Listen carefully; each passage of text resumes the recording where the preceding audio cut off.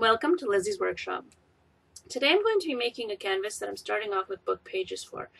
And as I'm flipping through the book, I'm looking for pages that have a consistency of text, not necessarily a full page, but um, for the most part, yes, and no pictures and stuff like that. I didn't want any colors to um, demand there that I use them. So because I want this paper to absorb the sprays and inks and stuff that I plan to put on it, I was hoping to just um, glue it on with Mod Podge, so I didn't go over the top of the pages with Mod Podge. I just went um, underneath and then pushed it on. And because I wanted it to be a smooth absorption and I didn't want um, the lines from the Mod Podge to show and resist the sprays, I tried to make sure that I didn't get any Mod Podge on the top surface of any of the paper.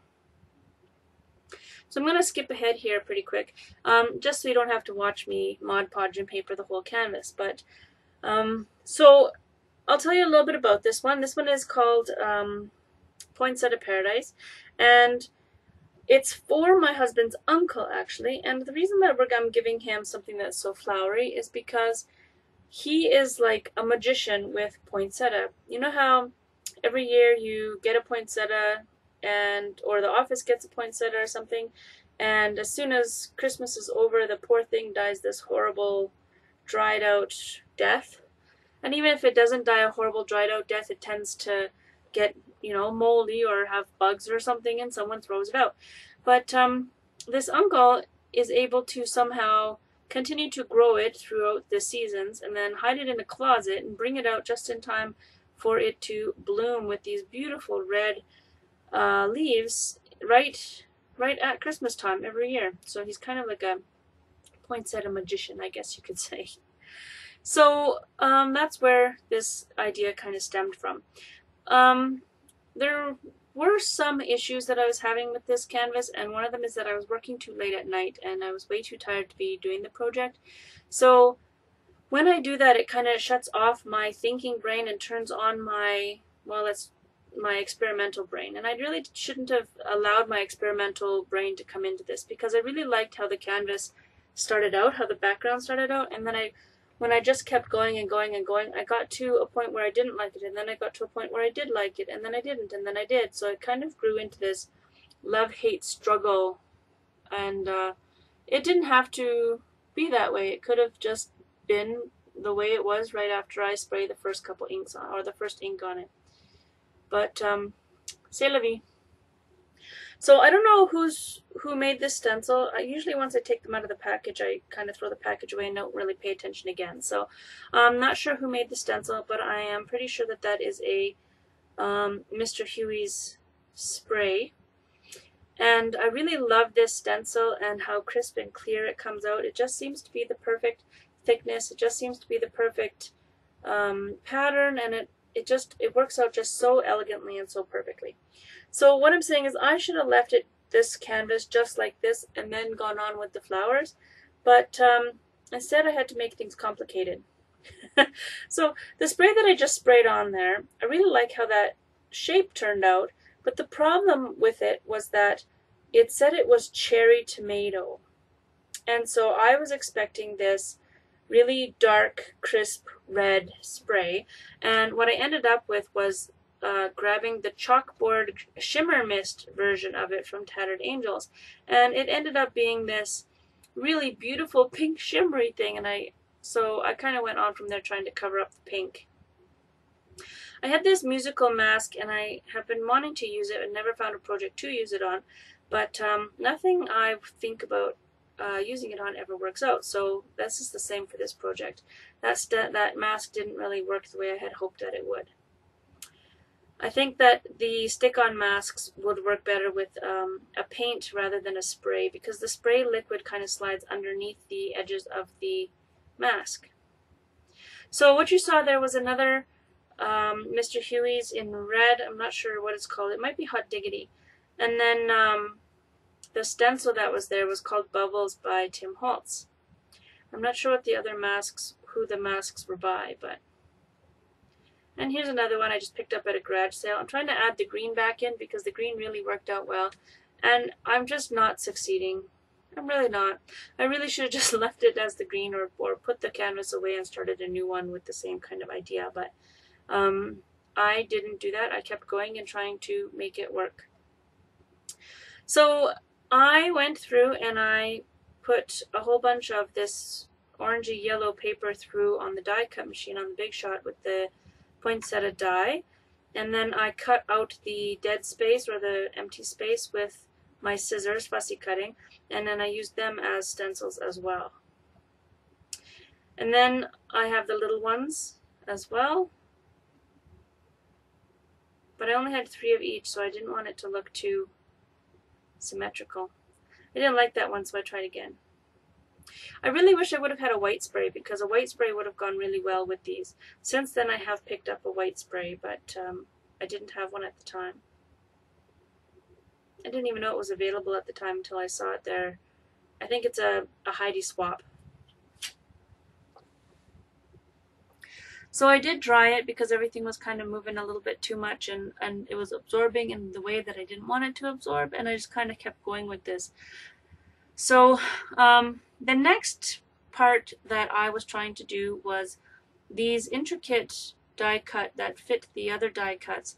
Um, I really wanted to put a modeling paste through them and so that's what I did but I had to this is sped up 15 times because I had to be so careful and I didn't have the right tool in order to get it into all the fine intricate little spaces and I did want to be a little bit precise with this. So I just kind of slowly worked the paste in and then pulled the stencil up and uh, put it off to the side to dry. And then I just kept going with these with these stencils that I made out of paper. Um, I really, really, really like this part. Um, I like how the the poinsettias came out. The only thing is that I, when I started this part of it, I kind of envisioned that because the, I was under the impression that the spray ink that I had sprayed on was a water base and that it, the paste would pull the water-based red ink up through and it would be more pink in color. That didn't end up happening. They stayed white, which is okay. But yeah, so I just go through and do all of them and then lift them up. And um, those stencils are now nice and crisp and they have this really beautiful color variation and they have a little bit of crustiness to them so it adds a whole bunch of different um, texture and depth to them. So I'm going to be keeping them and using them on another project. I really like them. Um, I didn't know how often I would use the die that I had for this, but I think that uh, think that's the answer is going to be quite a bit. So I kind of got a little bit tired of doing it, taking so long. So I kind of mucked up the last one there, but managed to fix it with a wet wipe.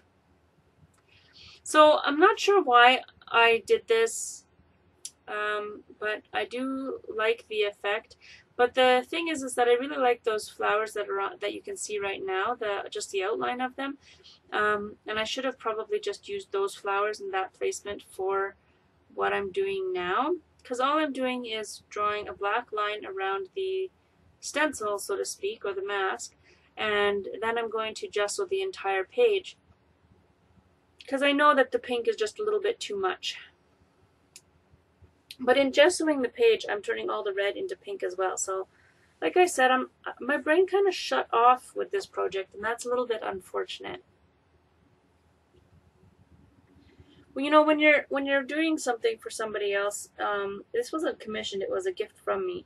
But when you're doing something from someone for someone else, you kind of have to stay present. So that was a little bit of a learning curve, which it shouldn't have been. I should know that already, but um, I had two canvases to do, or I did two canvases in this week, and um, I wasn't really concentrating too much on uh, on one. I was kind of while one project dried on one step, I would jump to the other one. So my brain was constantly shifting for these two projects. But um, it all it all worked out in the end. It all the recipient enjoyed his his uh, piece. So. So yeah, I'm going through and I'm covering it all with gesso and I'm lightening it all up and that's, I'm really going to like that. I don't like how, how pink it got, but I do like how um, I'm lightening everything up now with the gesso. And I, I could have just left it like that as well and gone on with the rest of the project, but once again, I kept going. And I always say if you don't like it, keep going, but I have to start reminding myself that if I do like it, I have to stop.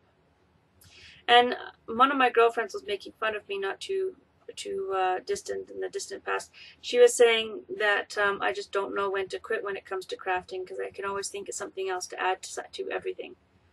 I can always think of another thing to add to, to the theme or another color to add to the page or another element or another depth or another this or that. And she says, you know, I, I, it's she's surprised that anything in my workshop ever stays the way that I finish it because um, she fully expects me to to go back and finish it again and finish it again and finish it again. I just don't know when enough is enough. Well, that sounds bad, but it's actually not a bad thing. So I'm sorry I went off camera here, but I'm just filling in all the spaces with the gesso to try and get the whole the whole canvas kind of in a kind of in a, a, state where it all is nice and, and not necessarily smooth. I did want the, the like all the different depths in there, but um, I also wanted to have the outlines of the poinsettias that I traced.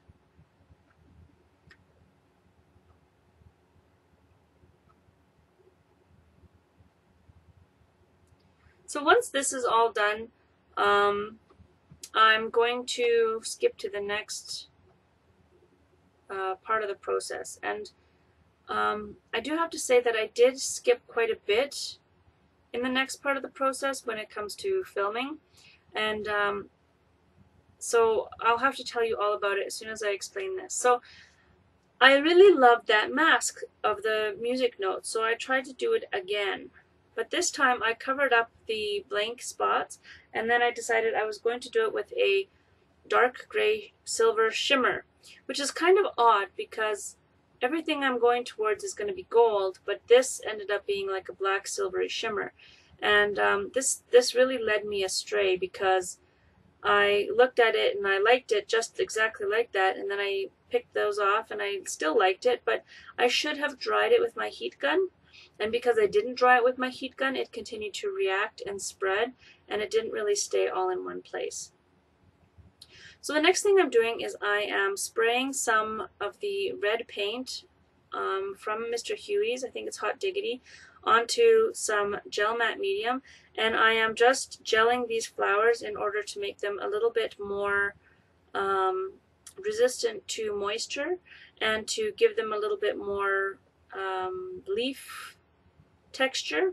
And the problem is that this paper is origami paper, so it's very, very thin, and the minute that you get it moist, it just curls right up on you. So that was a little bit of a struggle. If you look just to the side, to my side there, you'll see the big pile of green and red ones. And what that was is I took paper in um, green and in brown, I think it was, or in red, and I went through and um, oh no, it's brown. So I went through and I went around every single leaf and uh, flower with either two shades of green or two shades of red ink and a little sponge finger sponge dauber. And then just above that pile, uh, closer to the bottom of the screen, there's another set of these ones that I'm doing now, but in a smaller version. So in the origami paper, but the smaller, the smaller version. And I, once again, I had sprayed it with the red ink in order to give the small the white or the origami paper flowers just a little tinge of pink and make them a little bit stronger with the gel matte medium. So the next thing I'm going to do is set that aside and let it dry a little bit. But um, after this, I'm going to start assembling the flowers. So because I have already gel matte medium these flowers and ink these flowers, um, they're all ready to go. But some of them have had um, issues with sticking together and some of them have like spider webs of gel matte medium in between the leaves so I'm just going through each one and I'm cutting all that stuff out separating it all out and making sure that I don't have any of those extra little tidbits in there I could have just left this set of three little ones together but I wanted to make sure that I was all everything was uniform and ready and set to go I really really loved this green and this green actually it came from a gift bag. We had a, uh, it was craft paper on the inside and it was um, this beautiful green paper on the outside and I literally took that green paper or the, the paper bag and cut it open and used all the green I could possibly salvage to um, make these green leaves. And then the the red leaves, they're actually from um, a gift as well. Somebody gave wrapped one of their. I got a card kit from the G Plus community of card craft or crafters community, sorry, and um, we did a craft card kit club. And so the paper that was wrapped around one of the cards was this really really nice thick um, just packing paper, but it was perfect in order to thicken up the leaves and, and get the right um, thickness and heaviness of leaves that I was looking for. So I put that through the die cutting machine too a whole bunch of times and ended up with all these leaves. So I'm going to slow this down to one times and I'm really working slow here. Um, the reason that I'm doing this is because I wanted to show you how I assembled these flowers. So if it's a big flower, I take a big green set of leaves and a big red set of leaves and I adhere them together. And I'm just using Aleene's um, quick dry tacky glue. And the reason I'm not using hot glue is because I want to be able to sew through the center of these leaves. And if I use hot glue, it's going to get so thick and heavy that there's no way I'm going to be able to get a needle through it.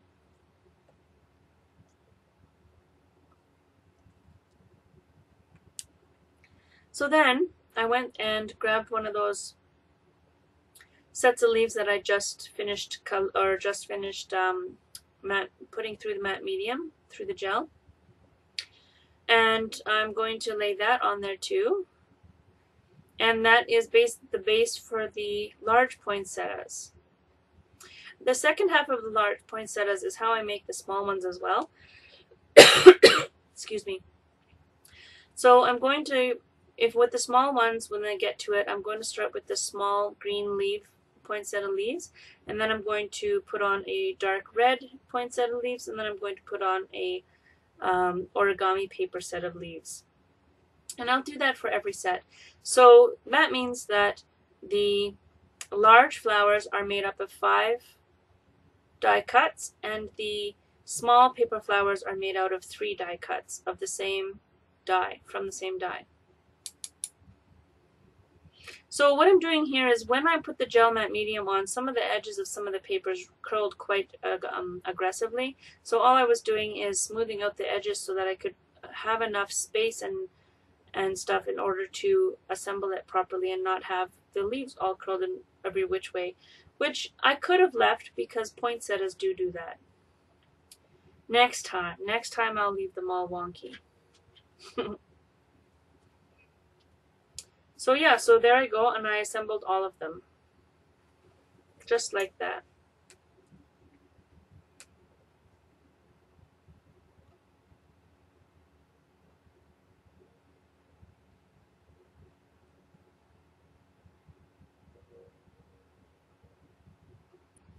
So once all the flowers are all glued together, what I'm going to do is put the beads in to the center.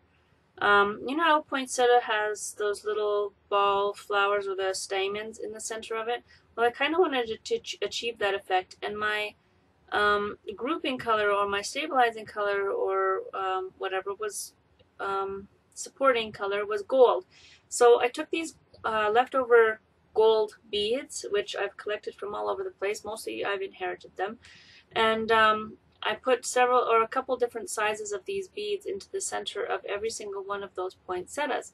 And I didn't do it with any um, real method to my madness. I just tried to make sure that my punch holes weren't too close to the edge of any of the papers and that I had an odd number of beads in every flower and that I used at least two different sizes in each flower of bead. Okay, so there was a lot of method to my madness, but you know. and so there we go. That's what they're all going to look like. So then what I'm going to do is just curl each of the leaves outwards with my bone folder and my thumb. Um, and then once I've got them all folded outwards, I'm going to crinkle them from the center to the, to the tip of each or of the base leaves. Sorry. And that way it just gives it a little bit more depth and a little bit more dimension to the final flower. And then what it also does is it sinks the center point of the flower down. See how I'm kind of bending it around the center point of, of some of the flowers? And there we go, a nice um, textured flower. The next thing I did was I continued on working on the base. And I this was a late at night. I shouldn't have done it. And this is this is where some of my regrets do come in. Um, if okay, fine. So I added gold around each one of the flowers, and that's where I should have left it. Rubbed gold in and being happy and glued everything on and called it a day. But um, something inside of me said, "Well, your project's not done until you outline in black."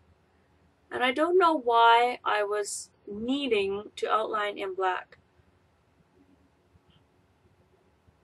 I really should have just said, okay, I'll put it down and I'll look at it again in the morning and then I'll decide on the black because once the black is on, you can't get the black off. So then I had this, then I had this conundrum of, okay, I'm going to put some black on. How much black do I need? And I thought this is the perfect amount of black. Wait a second.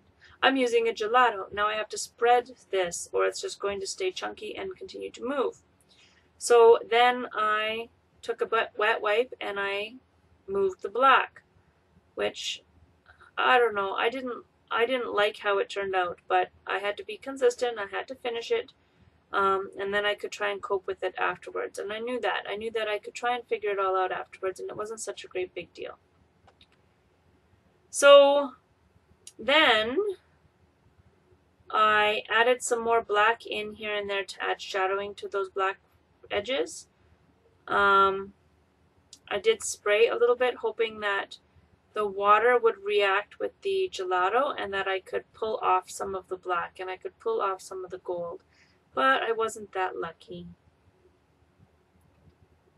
So then I went and spread the gold because it was still a little bit moist and I spread the gold out a little bit more to so that it took up a little bit more real estate and lightened up the picture a little bit because I'm finding that my background's getting quite dark and I didn't really want to go in that direction.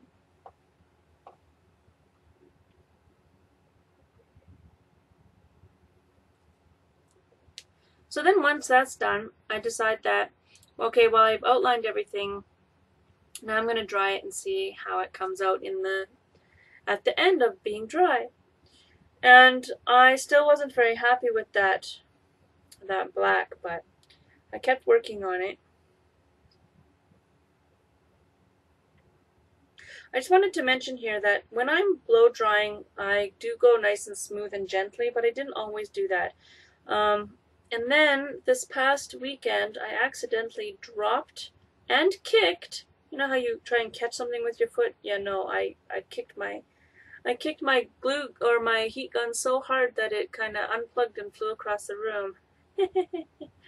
so, hence to say my heat gun is no more. I had to go out and buy myself a new heat gun after that. But, um, yeah. So here I am trying to compensate a little bit, and what I'm doing is I'm taking my white jelly roll and I'm going and, and drawing random lines in my with my white jelly roll. And that worked to a point. And then I'm going through and I've picked, I've never used this before, but this is a brush tip, brush tip Pitt pen.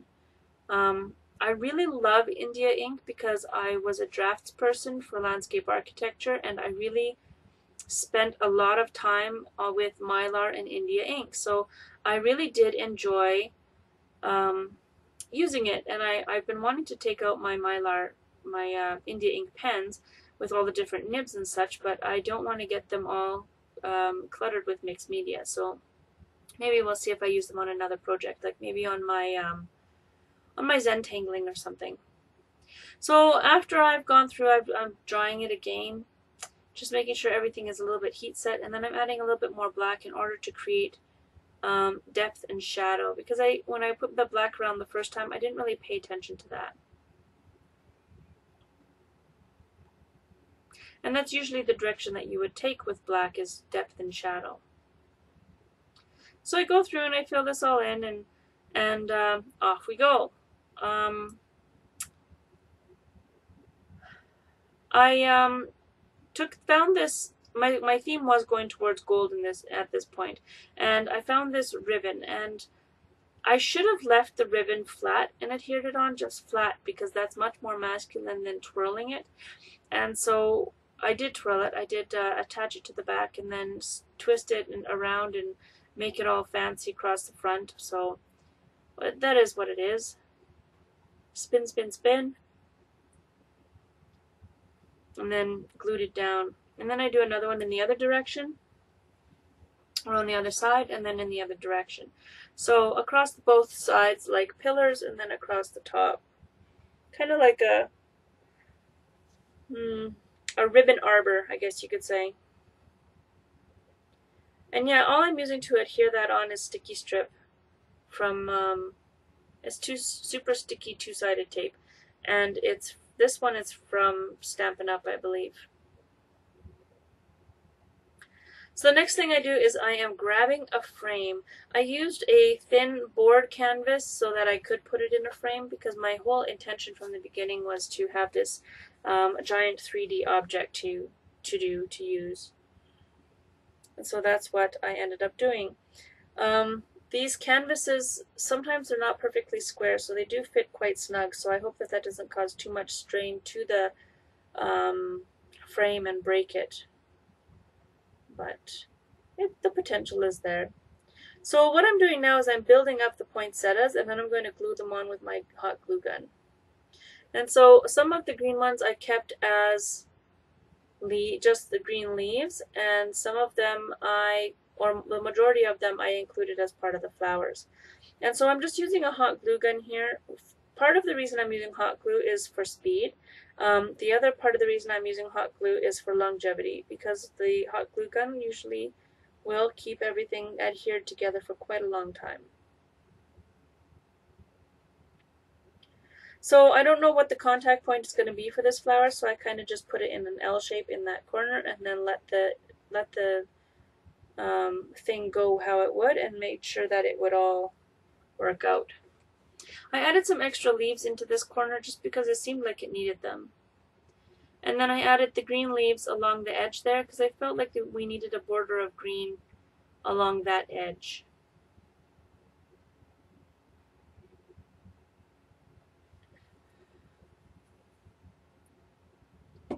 Thinking about it now, I really should have flipped this canvas over and covered the black, which I still wasn't loving. I loved the white of the flowers of the paste flowers, but I didn't love the black. I could have just flipped it over the other direction and covered the black up with the flowers, but um, right once again, it was too late at night and it didn't occur to me. So that's that's another thing when you're doing a gigantic project is that it doesn't all have to be done in one sitting. It's for me, for my process, it's really beneficial for me to step away from my project, um, go have a coffee, go spend time with a friend, and when my mind is relaxed again, come back and and work on it some more. Um, sometimes I like to sleep on it, or sometimes I it's just enough to go get the kids from school and come back, and so on. So I think that that the key for me and for my production and productivity and for my creativity to be at its best, I really do need to take those mental breaks and those emotional setbacks or step backs from whatever I'm creating. Sorry I went off screen here. I am just uh, assembling it all there. Um, that's probably the best part, but um, I did I did go off screen. I'm sorry. I did catch it though, I believe. So we're lucky there. So there we go. I've, I've just adding all the flowers in layers on there. And it really does end up being poinsettia paradise because there's so many poinsettias on there that um, you really can't see anything but poinsettias. The other thing is that um, I really I when I was designing this project in my head, my thought was to use music of um, Bach or Mozart, like print something off the internet and then distress it. Um, my other thought with this project was that I would um, print off papers from the internet that were legal, of course, and in all kinds of different languages because this individually individual really likes different languages. So that was my intention, but when it came down to starting the project, the only things that I had on hand were the origami paper that was both um, some of the pages had music notes. I don't know what the music was. And some of the pages had different languages, and some of the, the pages had mathematical equations. And um, the family that this is going to um, is really heavy on the, the math in their family. Um, a lot of a lot of um, the adults have chosen math careers. Um, from the, this person's extended family, nonetheless, but um, so I felt that it was all fitting to include all the, the music, the math, and the and the uh, language. So yeah, I just ended up curling it all up and doing it all and adding some more white and then um, seeing where I could get with adding a white gelato, lightening it up just that little bit, little bit, little bit all the time. And I think at this point it occurred to me that I should have just glued them on upside down, but once I had established the treble clef, I just could not, which is the the music signature, the music sign, I d- couldn't uh, tempt myself to flip it over upside down, which I'm sure his daughter will be pleased about. She, as she's a musician, so. but yeah, so then I'm going back in with my white jelly pen and I'm adding just a little bit more. That actually might be my Signo, my white signal that I'm using there. The Gelly Rolls tended to get clogged quite quickly when used on top of gelatos, so maybe that was that. So I'm covering up these flowers because I'm going to take my um, golden smooch spritz and I'm going to just um, get some of this gold onto here. I'm still not liking how dark those poinsettias became, so I was, was trying to fix them and I got to a point where I knew I was just working too hard, so I, I stopped. So yeah, so there is the um, almost finished project. The next thing I do is I took some white acrylic paint and I mixed it with water so that it would be nice consistency for spattering. And then I went over the entire thing after it was a nice homogeneous mixture, which or homogeneous mixture, and um, spattered it all over those poinsettias and it kind of gave the impression of snow falling on the poinsettias, which, with it being wintertime and Christmas time, that seemed to be quite fitting. So here we go. I'm using one brush to tap against the other brush and um, flicking, just flicking white to add that little extra, bring maybe even bring the border into the center of the, the image. And next in this video is the close-ups. So here's a close-up of the individual poinsettia flowers, and that's just the calligraphy and writing and language and stuff like that, and the green underneath and the red. Here is another close-up of the up in the corner, and see you can see this the Signo pen, the white pen on the black. And there's some more. Here's how it all goes together with the gold and the black and the white and everything like that and not a very good picture, but this is the end picture and the full picture, and I hope you enjoyed this project. Thank you for joining me on Lizzie's workshop.